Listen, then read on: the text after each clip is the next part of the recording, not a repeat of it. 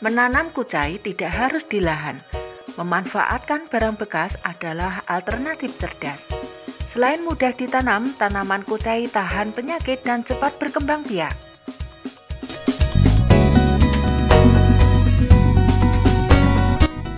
Tanaman daun kucai yang sudah dewasa dan siap dipanen untuk alat panen, gunakan gunting atau pisau yang tajam dan bersih untuk memotongnya agar tidak merusak tanaman.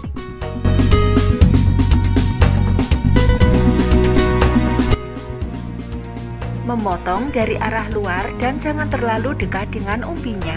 Sisakan lebih dari 5 cm di atas permukaan tanah.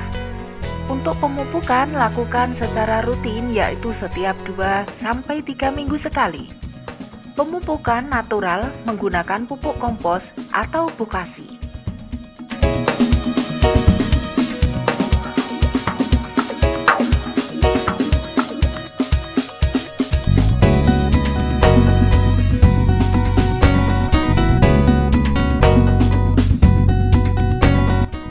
Daun kucai yang telah dipanen bisa langsung diolah bersama masakan atau juga bisa disimpan di lemari es.